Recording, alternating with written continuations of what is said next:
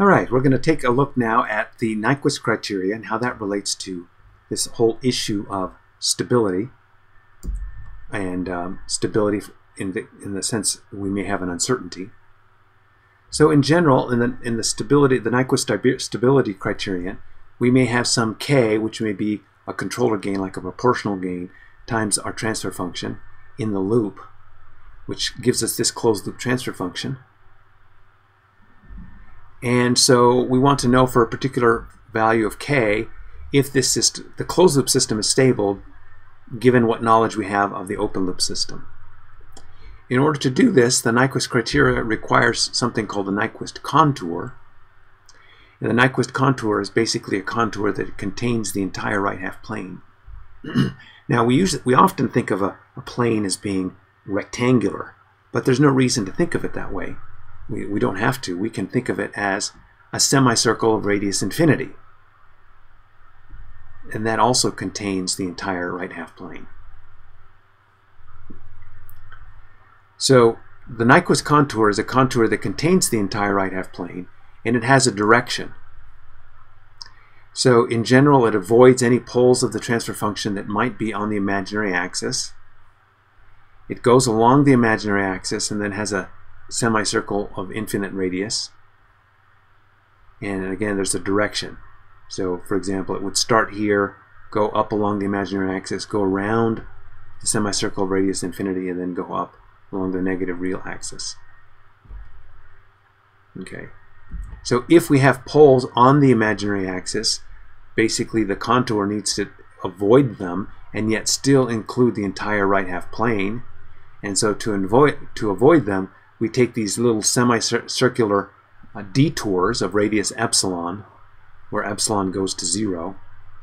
And, um, and so in doing so, we encaps we surround the entire right half plane, and yet we avoid the poles on the imaginary axis.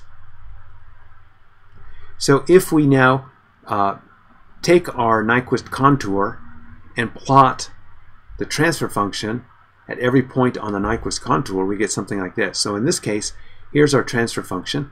This transfer function does not have poles on the imaginary axis, and so we can just use the basic uh, Nyquist contour. And here I've, I've chosen to use different colors.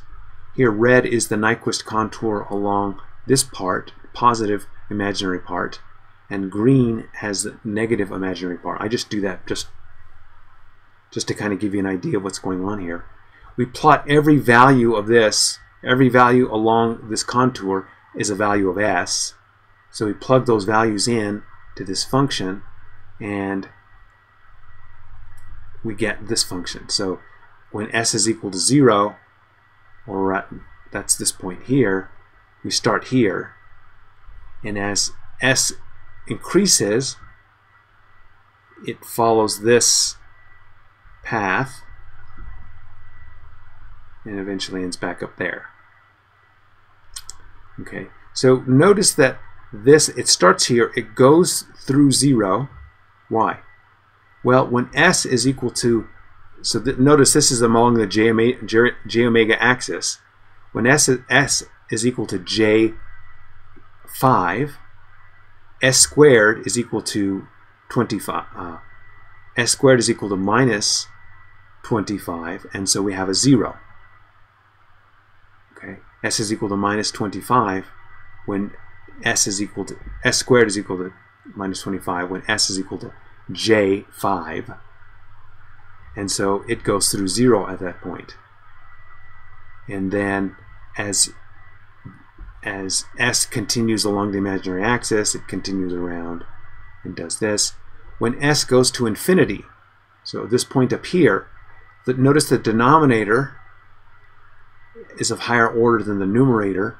And so as s goes to j infinity, this whole quantity goes to 0. And so at this point, we're back at 0. And this whole semicircle of radius infinity, because at infinity this quantity is equal to 0, that all is maps into the single point at the origin. So even though this looks like a large part of the contour, it actually maps into a single point on the, on the Nyquist plot. And then at this point, I come in, and that that's this part of the Nyquist plot, which goes around, comes through, and then ends up back where this point started. So that's the Nyquist plot. We basically are mapping the Nyquist contour through the transfer function. So the Nyquist, the Nyquist plot, the Nyquist contour, now we have the Nyquist criterion. Nyquist criterion says this. The number of right half plane closed loop poles is equal to the number of right half plane open loop poles plus the number of clockwise encirclements of the point minus 1 in the complex plane. Okay, so let's take a look at what this this this looks like. So let's let's take this transfer function. Notice that this has no right half plane poles. And if we look at the Nyquist plot, this is what the Nyquist plot looks like. So not this is not the Nyquist contour. This is actually the Nyquist plot. Um, and if we, it looks very similar though. But if we zoom into the origin, we can see this stuff is going on. And so um, we want to check now the number of clockwise encirclements of the point minus 1. It's maybe hard to see here, but really tiny. I have plotted the unit circle in the complex plane. And so the point minus 1 is on the on the left-hand side of that. And we want to check the number of encirclements of, min of the minus 1 point. So the way to check that is we, we draw a line from here and we just draw it out through the entire Nyquist plot. And you can do it in any direction. Some directions are easier to check than others, but we can do it through any direction. And now we would check to see the number of clockwise encirclements. So if I think of that being a pivot point and the Nyquist plot pushing us in this case, we can see that's going to push us in the clockwise direction. And so notice that the, the, arrow on this one is also going this direction. And again, if I think of that as being a pivot point, it's going to push this in the neg in the clockwise direction. So the number of clockwise encirclements of the point minus 1 is 2. And so the number of right half plane closed loop poles is this plus that, which is 2. So for this particular system, that's what we would have. So the Nyquist criteria tells us something about stability of the system, the closed loop system, given information about the open loop system and the Nyquist plot itself. So when we come to the robust stability problem, we generally assume that the actual plant belongs to a particular set of plants. Again, it could be an additive plant or uh, additive uncertainty, multiplicative uncertainty, and we would seek to prove stability for the entire class of problems. Okay, so if the, the entire set of unstable plants is, uh, is made stable through the closed loop, then it implies that the particular system that we may have, which is a set, which is a member of that set, is also going to be stable. So that's the particular system. So if we look, for example, at this kind of problem, here we have additive uncertainty, we have a controller k of s. So k here is not necessarily a gain, it may be a transfer function itself. And we take this system and we look at the loop gain. So if we start here and go all the way around back to here, that's the loop gain, and we can show that it's given by this. And so that's what we would actually look at in terms of the Nyquist criterion.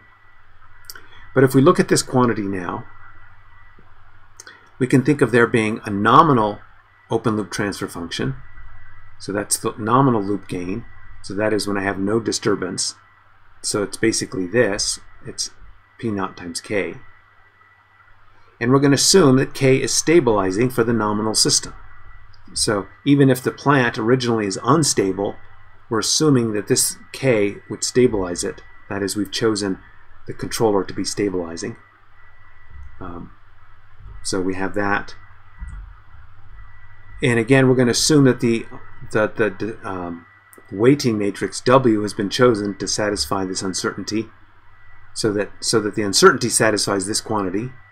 So if if actually the h infinity norm is greater than 1, then we, we basically would increase the magnitude of w to make this less than 1 so that the product is still the same. And so we want to know if the feedback system remains stable for all uncertainties in this in the set. So we look at 1 plus LW, that's given by this expression, uh, L of j omega, so rather. And so P naught times K is what we call L naught, and then we have this uncertainty term. So how would we then um, evaluate whether this system is stable or not? Well, we can use the Nyquist criteria. So if we assume that L naught is stable, okay, um, then if delta is zero, this plot does not encircle the minus one point. Okay, so that's that's what we have. And so as delta is allowed to be greater than zero, um, we can get stuff happening. So if we think about what's going on in this problem, suppose this is the Nyquist plot for the closed loop system. So for L naught, if we look at the Nyquist plot of L naught, this is what we have. So now we, we actually don't have L naught. 1, 1 plus L naught is what we're looking for. We actually have L that we're working for, but L has all this other stuff over here too. Okay, and so what's going on with that? Well, we have W, delta, and K. So delta is uncertain, but it has magnitude 1. And so we can think then of that whole transfer function um, since we don't know what delta is, but we do know what W and K are, we can look at a circle of radius magnitude K, um, WK. And for a particular value of omega, this is just a number. This is just a number. And so the, the uncertainty then has some magnitude and so if we assume magnitude less than or equal to 1, then the uncertainty, or, or rather this entire quantity, must be within a circle of radius that's the magnitude of WK. So at any point along this plot, I can think of there being a circle of radius magnitude WK. And, and if then, if at every point so in, instead of having just a line that is the Nyquist plot, we can think of there being like a band, you know, like a thick line, and the radius of that line varies as we go around. And if that thick line does not cross the minus one point or encircle the minus one point, then the, the system is robustly stable. Whew, kind of complicated. Yeah, these problems can be kind of complicated.